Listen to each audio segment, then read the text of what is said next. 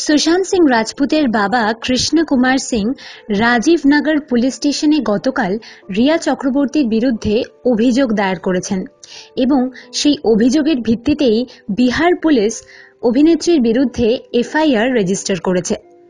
ঠিক কি কি ধারায় এফআইআর দায়ের করা হলো রিয়ার বিরুদ্ধে? আজকে আমরা সেটাই জানাব আপনাদের। তবে তার আগে আপনারা যারা এই ভিডিওটি আমাদের ইউটিউব চ্যানেল থেকে দেখছেন, আমাদের চ্যানেলটি সাবস্ক্রাইব করুন। সঙ্গে বেল আইকন প্রেস করুন। যারা ভিডিওটি দেখছেন আমাদের ফেসবুক পেজ থেকে পেজটি লাইক এবং ফলো করুন।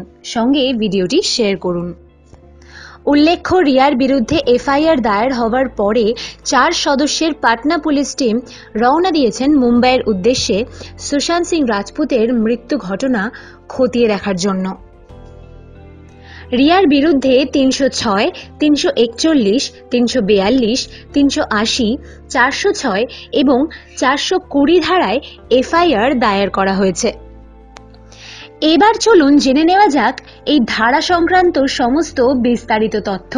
প্রত্যেকটি ধারায় ঠিক কি কি সাজা হতে পারে সেটাও আমরা জানাব আপনাদের।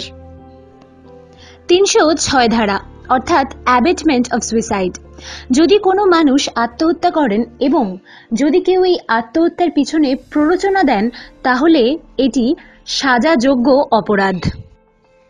এর জন্য দশ বছর পর্যন্ত সাজা হতে পারে। সঙ্গে জরিমানাও দিতে হয়। তিনশো একচল্লিশ ধারা, অর্থাৎ পানিশমেন্ট ফর রংফুল রিস্ট্রেন্ট যদি কেউ জোর করে কাউকে কন্ট্রোল করতে চায়, তাহলেও সেটা সাজাযোগ্য অপরাধ এবং এর জন্য এক মাসের সাজা হতে পারে, সঙ্গে ফাইনও হতে পারে। কিছু ক্ষেত্রে নয় সাজা, নয় ফাইন যে কোনো একটা হতে পারে, আবার কোনো ক্ষেত্রে দুটোই হতে পারে। সেকশন থ্রি ফর্টি টু অর্থাৎ পানিশমেন্ট ফর রংফুল কনফাইনমেন্ট যদি কেউ অন্যায়ভাবে জোর করে কাউকে বদ্ধ করে রাখে কিংবা নজরবন্দি করে রাখে, সেটাও আইনত অপরাধ। এর জন্য সর্বোচ্চ এক বছরের শাস্তি হতে পারে। সঙ্গে জরিমানাও দিতে হতে পারে। কিছু ক্ষেত্রে নয় সাজা, নয় জরিমানা দিতে হতে পারে এবং কিছু ক্ষেত্রে দুটোই হতে পারে।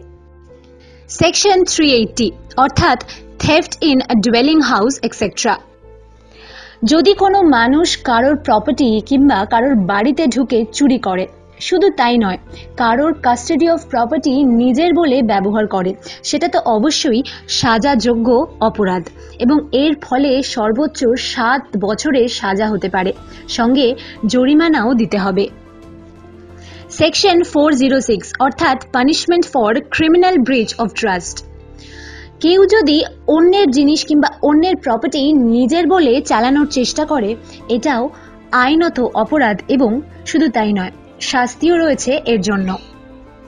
এর ফলে সর্বোচ্চ তিন বছরের সাজা হতে পারে কিংবা জরিমানাও দিতে হতে পারে। অনেক ক্ষেত্রে যে কোনো একটা হতে পারে, কিছু ক্ষেত্রে দুটোই হতে পারে।